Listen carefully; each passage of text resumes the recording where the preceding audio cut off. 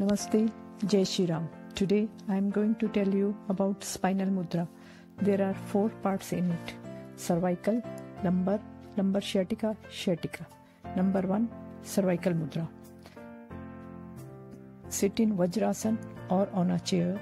Keep your hands on thighs with fist facing upward and thumbs facing outward. It is useful in cervical spondylosis and pain in shoulders. Do this mudra for 5 to 10 minutes twice daily with deep breathing or an empty stomach.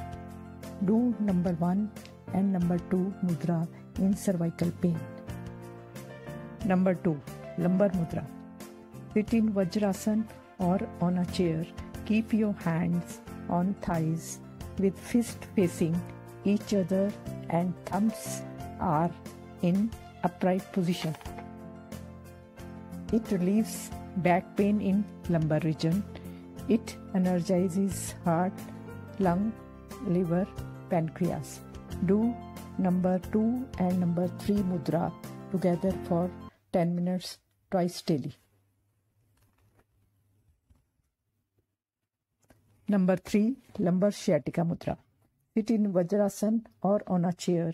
Keep hands on thighs with fist facing downwards and thumbs are facing each other. It removes sciatica pain and lumbar pain. Do this mudra for 5 to 10 minutes with deep breathing twice daily. Sciatica mudra number 4 mudra. Keep thumbs downwards on the thighs with knuckles of the fist facing each other. It is useful in sciatica. Do number 3 and number 4 for 5 to 10 minutes in sciatica. My Ayurvedic tip is take halo methe klonji ajwain kali jiri ashwagandha in equal parts, grind it and take 1 spoon of this mixture with honey twice daily for cervical pain, lumbar pain, sciatica pain.